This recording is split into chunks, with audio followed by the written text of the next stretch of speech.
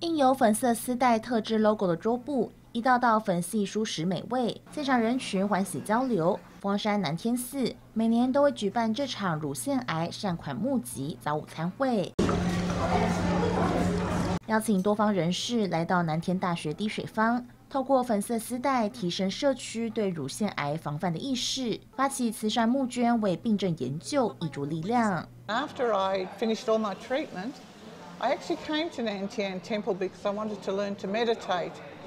Because I wanted to have such a positive attitude, I didn't want this cancer to come back again. I just appreciate the funds going towards breast cancer research. There's a lot of different changes now in breast cancer treatments. They make it less, the side effects for chemo and radiation less um, harder on your body. 感谢与会大众力挺，期盼借由参会姻缘，唤起更多人对女性健康问题的关注，也为正在抗癌中的斗士们加油打气。南京卫视澳洲雪梨综合报道。